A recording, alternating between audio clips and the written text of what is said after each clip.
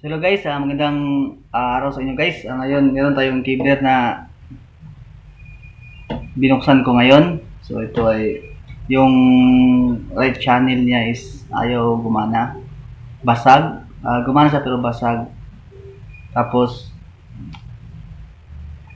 mahina. Mahina yung kanyang ah, right channel. So ngayon binuksan ko ito para makita natin. So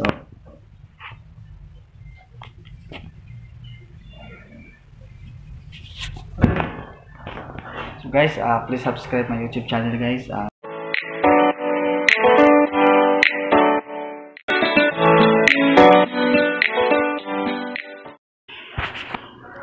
so yan guys, uh, Kibler GX5.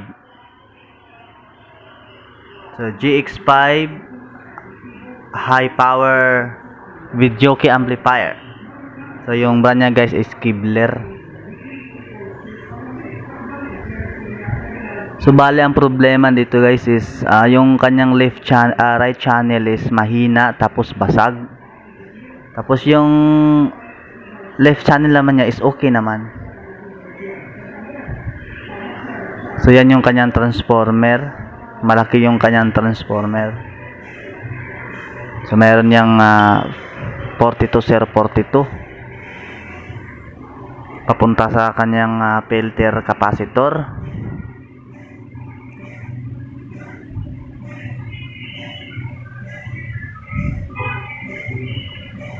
Yung capacitor na yan is ah,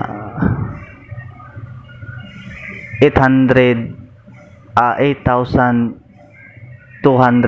UF tapos ah, 82 volt.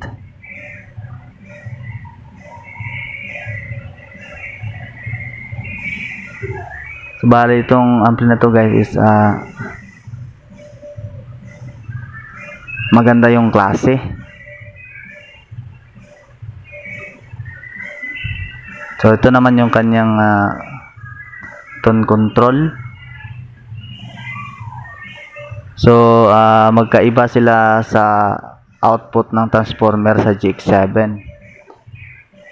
So bali yung dalawang yan guys yung pinalitan ko. Kasi yung preamp niya sa tone control. So yung ano naman niya is yung ah main amp niya is okay naman yung main amp niya pag tinanggal mo.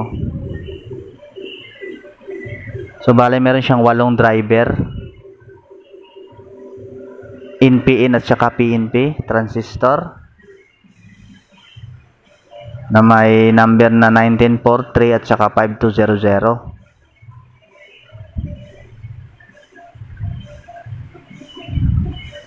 So itong ampli to guys is bago lang to naman. Meron din tong ah, blower. Yung blower nito is dalawa. Ah, yung isa nasa loob na nagbubuga ng hangin sa heatsink ng ating driver kapa ah, driver transistor. Tapos yung isa naman is ah, hinihigop niya yung init sa loob palabas. So bali siya yung exhaust natin.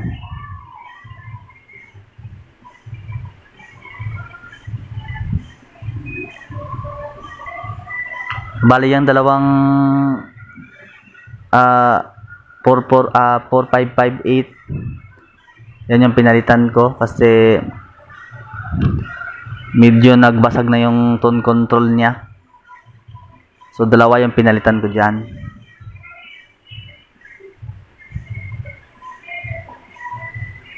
Nasa tone control lang yung problema. So yan yung pinalitan ko dalawang 4558 preamp ng ating tone control bago papasok sa ating main amp yung kanyang ah, signal. Kasi ito guys pagka tinanggal ko yan tapos kakapain ko ayos naman yung ugong niya. Umugong naman yung right saka left channel niya. Pareha naman yung lakas. Pero pagka binalik ko yan tapos nag nag music ako nagpapa music ako ng bluetooth. Basag yung kabila so ibig sabihin nasa tone control yung problema. So ganyan lang yung gagawin nyo guys pagka ganun hiwalay nyo yung ah signal na papasok sa main amp tapos kakapain nyo kasi yung silbi yung ugong na lang yung basihan natin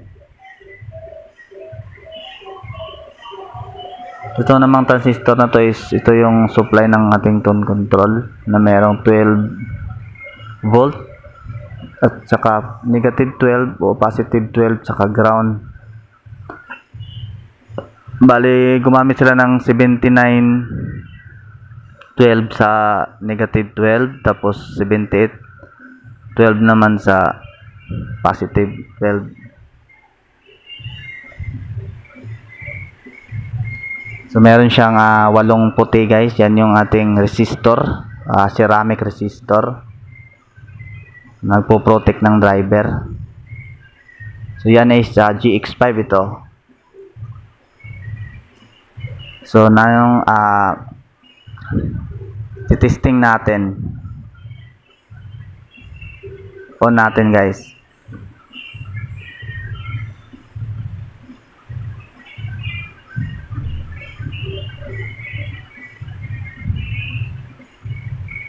so yung ginamit ko ito is USB so ayos naman yung kanyang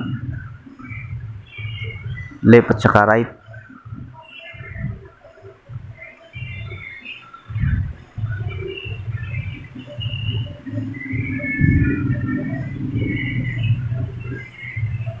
So,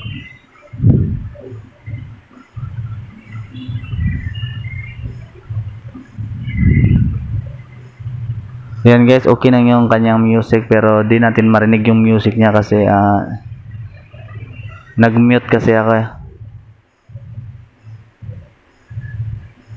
Yan, tapos yung left naman is okay naman. Yung right.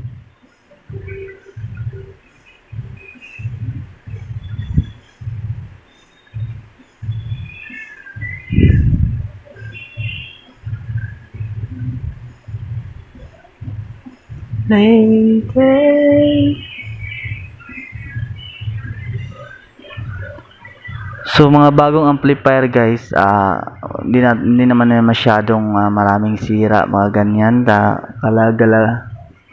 Halos ano lang 'yan, mga mga preamp niya, yung mga ah, yung mga pre- yung mga IC ng preamp natin ah 4558 ano lang yung, yung umiinit dyan. Tapos yung driver naman yan is pagkabago pa okay lang naman. So yan yung ating ah, main amp.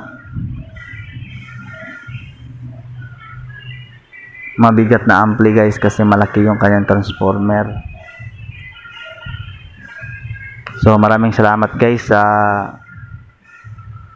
panonood ng video na to So next time ulit baka maka-encounter ako ng medyo maka-encounter ng ah, medyo mahirap-hirap guys. So maraming salamat guys.